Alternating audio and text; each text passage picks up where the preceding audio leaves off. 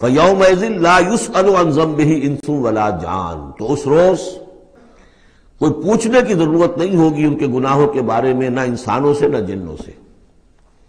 अल्लाह ताला पूछेगा, हिसाब किताब भी होगा, लेकिन यह कि अपनी जगह पर, हर एक के चेहरे पर लिखा होगा उसका अंजाम बल इंसान वाला नफ्स ही बसीरा। चुनाचे कई जगह कुरान मजीद में नक्शा खींचा गया है। मैदान क्यामत में जब लोग खड़े होंगे कुछ लोगों के चेहरे तरोताजा होंगे, कुछ लोगों के ऊपर मुर्दनी छाई हुई होगी। इसकी मिसाल बेहतरीन होती है हाई स्कूल्स के अंदर। हर साल जब डिक्लेयर करते हैं इम्तहान सालाना इम्तहान का नतीजा तो जब खड़े होते हैं तालब इम सुनने के लिए तो बाद लोगों के चेहरों के ऊपर लिखा होता है कि ये फेल होने, इसलिए कि उन्हें मालूम है, लिख करके आए थे हम। और बास के चेहरे तरोताजा होते हैं, उन्हें अगर फ़िक्र होती है तो इसकी कि मैं फ़र्स्ट आता हूँ या नहीं आता, बस इसकी तशवीश हो सकती है।